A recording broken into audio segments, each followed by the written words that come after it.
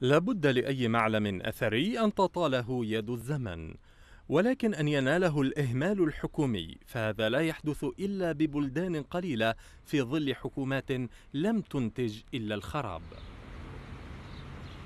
خان بني سعد الأثري في محافظة ديالى واحد من هذه المعالم. الخان الذي تم بناؤه في زمن عمر باشا العثماني قبل أكثر من ثلاثة قرون كان محطة استراحة للمسافرين والحجاج. هذا الخان آه، انبنى بسنة 1671 إلى 1682 بهالخمس سنين هذه آه، انبنى في زمن آه، الوالي العثماني سلح دار عمر باشا. هذا هو اللي بناه والغرض من عندنا الخانات هاي اللي انبنت طبعا هي على على بعد كل 40 أو 50 كيلو متر مبني خان من هذين الخانات. الغرض من عندها شنو؟ الغرض من عندها هاي دور استراحه للمسافرين والحجاج.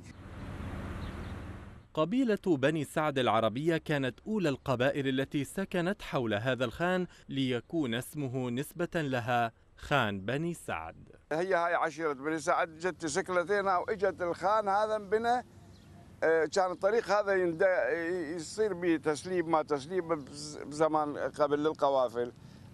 فجابوا العشيرة هذه سكنوهم هنا حتى يحمون الطريق من السراق. اليوم تكفلت إحدى المنظمات الغربية وبمساعدة بعض المتطوعين من أبناء ديالى بعملية إنقاذ الخان وترميمه ومحاولة إحيائه من جديد. ناشدنا كثير من المسؤولين آه، بالإدارة المحلية والإدارة الاتحادية آه، نادينا أو واجهنا أو أعطينا دعوات مباشرة عن طريق آه، هاشتاكات وعن طريق ناشطين مدنيين إلى المنظمات الدولية والمنظمات المحلية للاعتناء بهكذا معلم حضاري مهم في خان بني سعد.